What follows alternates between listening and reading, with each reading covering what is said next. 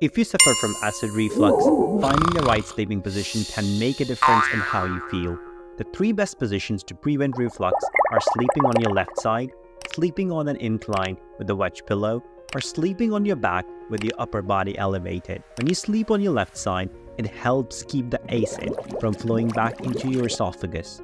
Sleeping on an incline helps to keep the acid down, and sleeping on your back with an elevated upper body can also be effective. So choose the position that suits you best and enjoy a more peaceful night's sleep.